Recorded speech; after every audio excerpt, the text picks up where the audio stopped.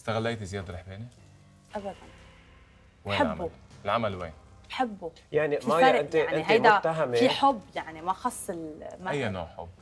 حب يعني كيف يعني مغرومة فيه كيف يعني معقول احب زياد الرحماني يعني؟ لحظة بس كيف مغرومة. معقول احب زياد يعني فيك تنغرمي فيه فيك تحبيه از آه، آه، أنت شايفني. مغرومة بزياد الرحماني لا أنا شايفك أنا مغرومة بفنه مغرومة بشخصه مغرومة بتاريخه مغرومة بشو عمل آه، مغرومة بموسيقته بألحانه.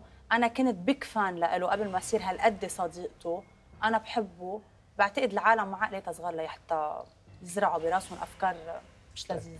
طيب، مايا كل العالم بحبوا زياد الرحباني. أصلا ما عم تقولي شيء إنه أكيد كل العالم كل العالم بحبوا زياد الرحباني. بس صار لك سنة ونص عم تحكي عن العمل مع زياد الرحباني وبعد ما شفنا شيء لليوم. طب شو بعمل إذا زياد يعني. يعني انت متهمة عمهله. الاتهام اليوم الموجه لك مايا.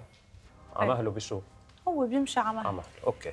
اليوم الاتهام الموجه لك مايا إنه انت استغليتي اسم زياد الرحباني لهول فترة السنتين لحتى نشوف عمل بس بعد ما شفنا شيء اسال زياد. مم. خبرونا إنه راح يكون معك. قريبا. ليه ما بتسأله؟ رح نسأل. مايا رح نريحك شوي بعد شوي رح نسألك عن مرتاحة. استغلال.